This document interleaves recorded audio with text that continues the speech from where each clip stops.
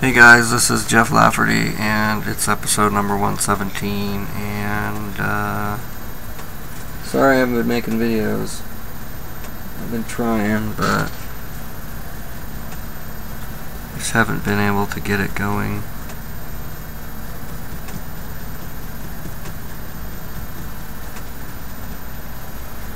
I think it's just anxiety. It's kind of catching up with me. Which uh, sucks. Working on a um, Hercules painting for this project I'm doing. Well, that being project, it's eh, it's just my mythology. You know, I'm doing a bunch of paintings based on mythology, and also doing some paintings um, to illustrate the uh,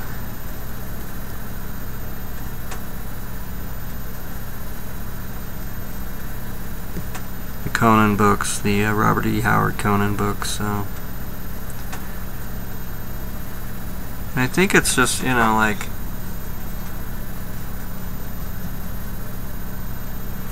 I, it's, I think it's a lot of it with this not getting videos out is just, you know, it's like I, I feel like I'm just sort of really hanging on by my fingernails, you know? Um, in the, in the sense that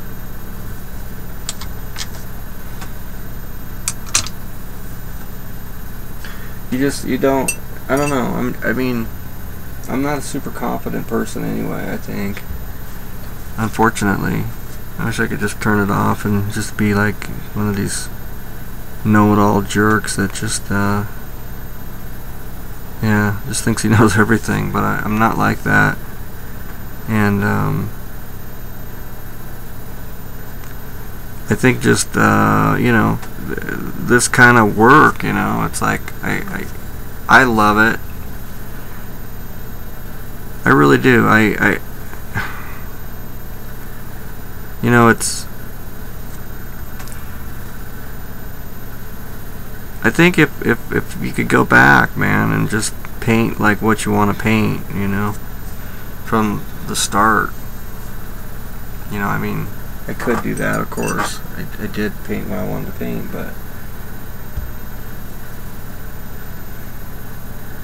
I uh, always just had like a real lack of confidence in, in so much of my work, and uh,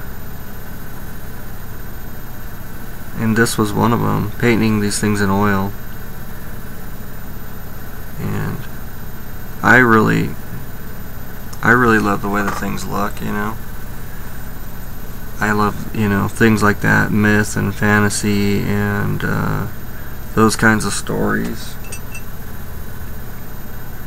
That's just the stuff I'm attracted to, you know. But I was also like really good at like drawing portraits and stuff like that. And uh, I remember my friend had uh, Drew Struzan's uh, we had an article about Drew Struzan. I think I've told this story before. And um, Drew Struzan was like kind of an, an, anomaly to me too. You know, when I saw his work, um, it was really interesting because I couldn't figure out how he did it. You know, it's like this big chunky paint strokes and stuff on what looked like almost like a drawing. I didn't understand, you know, it just didn't make sense to me. And um, he had this article about Struzan and his technique, and he, and he kind of said, you know, it's like airbrush and color pencils, real basic, but I read that article and I just thought, that does that work, you know, like color pencil on top of airbrush? That just doesn't make sense to me, you know. Um, so I, I bought some color pencils and I got an airbrush and I tried it and uh, it does work real well, you know, obviously. And it, it, it turned me on to painting because I just had not painted much, which was a lot of fun. Up till then, I was just doing like black and white comic book work, which was, you know, I think that's what taught me how to draw, you know. All those years of drawing comics, and you know, comics are like the toughest medium there is. You know, you got to know anatomy and staging and all sorts of things. So it's like a great way to learn how to draw because you learn how to draw every freaking thing in the world. And uh, all that good stuff. So, but then you know, once I learned how to paint, I think it, think all that stuff served me. You know. But I really got into painting and wanting to paint and things like that. But it just, I don't know and just experimenting with that style and technique and all that kind of thing. And the realism, for some reason, you know, was like the first thing I did with that with that airbrush and color pencil style. I did this painting of uh, Andie MacDowell, I think, and I showed it to my friends, and they said it was good, so I got some kind of validation out of it. And then kind of went on, you know, painting and painting and I remember too, like, you know, with the oil style, I had this one friend who was like a really good oil painter and painted this little Viking painting that he just hated for some reason. Loved and hated it. I don't know if he was just a little bit jealous of it. I hate to say that because I don't want to make him feel bad or something because he was an incredible painter. He had no reason to ever be jealous of anything I did but you're just so harsh on that little painting. But it's funny, it's like, you know, I love that little painting. It was it's just the exact same style. I just did a real quick oil kind of sketch of a Viking and didn't know if it was going to come out or anything and then I came back and just refined it and refined it and turned it into like a little tiny masterpiece kind of thing like this, you know. And I don't even know why I'm talking about all this stuff. I guess it's. I just feel like I'm, I'm having kind of like a crisis of confidence in a way, you know. You just I have no confidence in in what I'm doing. And um,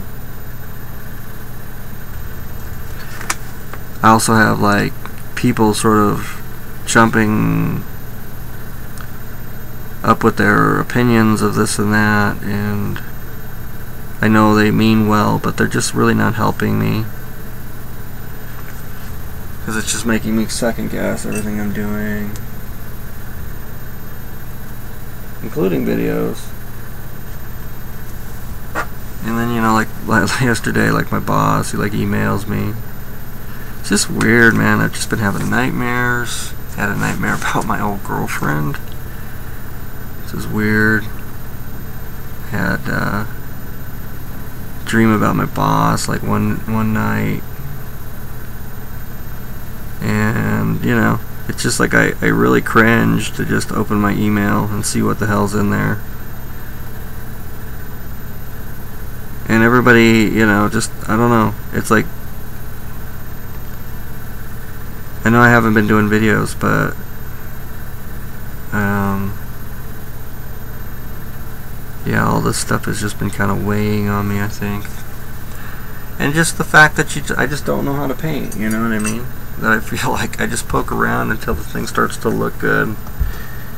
And uh, I had a guy like email me a while ago, totally well-meaning, you know, but just with like the basics of painting. I got a guy like sending me um, which it's like you know it, it's like you read it and it's it's just like what you just don't need to read at the moment you know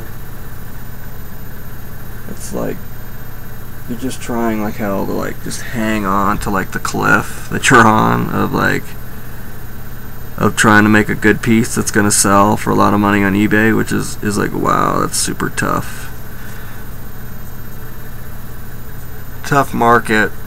I wish I could like put my stuff you know in like the Spectrum convention and hang it for like, you know, 5,000 bucks and have all these art collectors walk by and possibly buy it, but not happening this week, you know. Gotta just kind of deal with what you got going right now. And what I got going right now is eBay. And uh, somebody commented a couple days ago, there's got to be some place better to sell your work than eBay. And then he said, uh, DeviantArt sells prints, like, you know, wow, there's a total eye-opener to me. Actually, it's not. I've had, like, prints on DeviantArt for, like, you know, eight years or something like that. You know, you know, I, I, I don't know. Prints don't sell well on DeviantArt. Prints don't sell well on DeviantArt. Um, but yeah, all this stuff just, you know, it's just adding, and then when I turn on the camera, I end up with like a video like what's happening right here, which is just like a total fucking mess. And then, and then I get people commenting, which is like, just, you know, throwing me off even more. Because it's like, uh,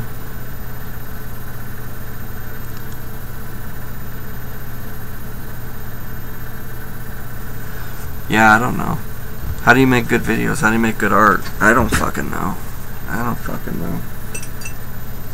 Just start fucking painting and you put it up and just hope, hope to God it sells, you know? Same thing with a video. Start talking. But then now it's like, you know, I've weaved it into my business model, so I gotta keep cranking these things out. I don't gotta do anything, but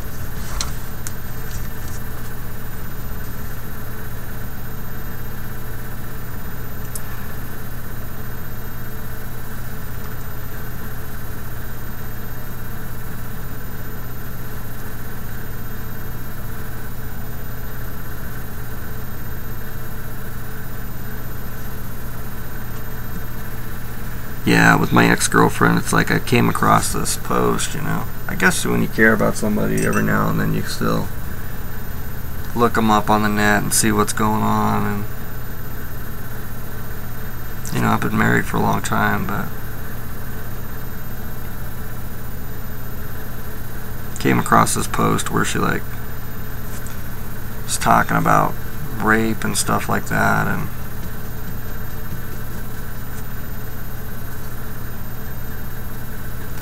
hope I hope nothing like that ever happened to her. You know what I mean? It's like that is just so terrible.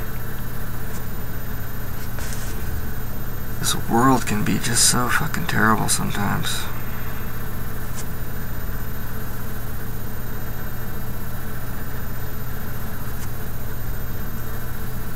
I've been trying to put together a, a, show with like another artist and record it on Skype and I've just been having a really hard time and getting it to work, like getting getting the files like a size that I can actually edit and stuff. And I'm trying to do it on Skype so you guys can actually see what the hell we're doing.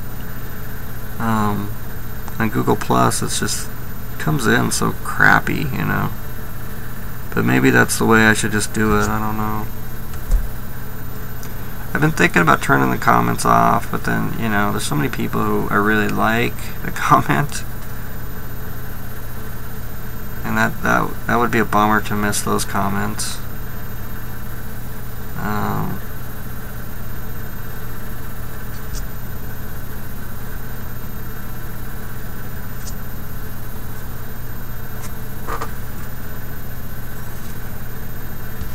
Yeah, I don't know. And I, last night I went to Home Depot too. I needed to get some MDF, and uh, they've been out of MDF for like freaking a week now and I need to mount this piece on on MDF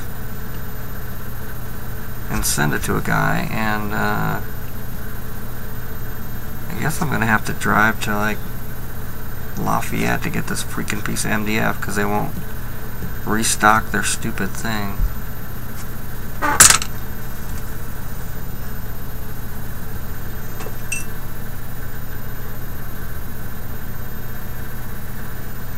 Yeah, I'm just like a huge ball of anxiety. huge ball of anxiety right now. I've been trying to like record a show for like two days that isn't that isn't like this one I've just recorded. Imagine this one won't even go up. You know, my life is really good though. Whatever happens, it's like, it's kind of secondary. Because it's like, my life is really good, you know? Um, I know, it, it's funny. I was just thinking that, you know, it's like, I'm always going back to that worst case scenario thing and, you know, this thing with my boss and stuff. My ex-boss or whatever. That that's the kind of guy he is. Is like you know he'll he'll needle needle you and drive you crazy to the point where you just get up and leave because he's just such an asshole and you know he's got like all these minions that work underneath him at different levels.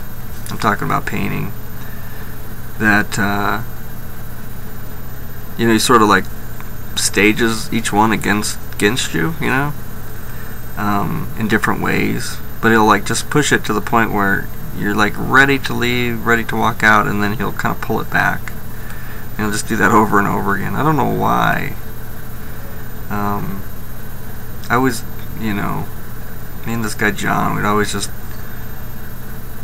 wonder. I think, you know, like why why he wanted so much chaos in his company, but he just did. You know. And like sending that e email to me. Um, is kind of the same thing, you know.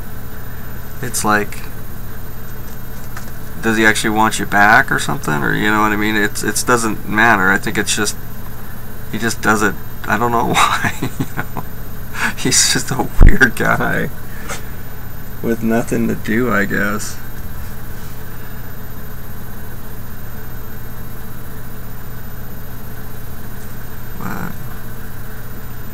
But I think like, you know, as far as my life goes, it's if I if I went back and got a painting job there or, or somewhere else, it's it's like I feel like I'm painting what I want to paint. Um, and what I've really wanted to paint for like the longest time. So I'm actually really happy with that. I'm, I'm super happy that I have like the family I have. That is so important to me.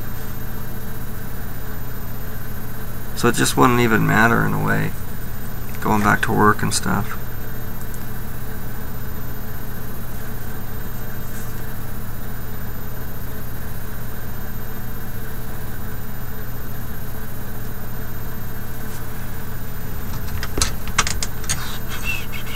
I guess that's a show, so see you guys uh, next time.